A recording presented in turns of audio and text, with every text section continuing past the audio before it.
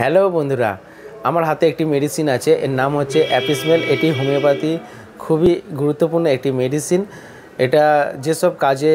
রোগের ওপর ব্যবহার হয়, এক নম্বর হচ্ছে নেফ্রাইটিস রোগে খুবই ভালো মেডিসিন যাদের কিডনির সমস্যা থাকে এবং